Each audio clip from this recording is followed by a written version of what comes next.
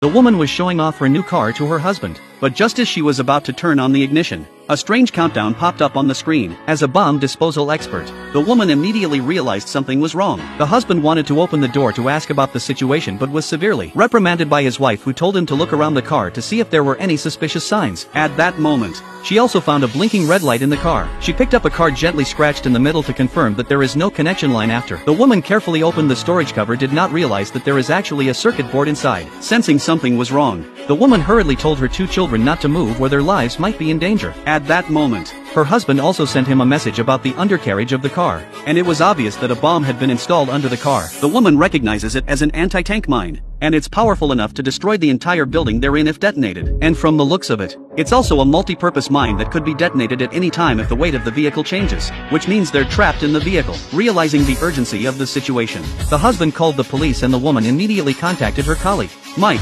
whose company specializes in bomb disposal. She explained the situation to Mike as quickly as possible and he didn't let her down and drove to the scene in just a few minutes. Seeing the complex devices in the car Mike instantly realized the seriousness of the matter. He quickly took out the detection equipment to carefully survey the situation around the bomb. However, when he was detecting the bomb, he accidentally found his company's nameplate on the bomb. Thinking that this may have something to do with the company, the husband hurriedly dialed the boss's phone. But to his surprise, the other party's ringtone suddenly rang in the trunk. It turns out that the boss is also locked in the car and he seems to know nothing about this incident, which makes everyone confused. At that moment, another technician also arrived at the scene and brought more specialized detection equipment. After scanning the device, they were able to find the internal mechanism of the bomb. At this point, there was a difference of opinion between the woman who thought that cutting the blue wire would stop the countdown and Mike who thought that the yellow wire was the timer. The blue wire was the main wire and the green wire was just a decoy. Although Mike's analysis was sound, the woman insisted that he cut the blue wire. Mike knew that Laura had lost her mind in her fear for her child's safety. Seeing the countdown coming to an end,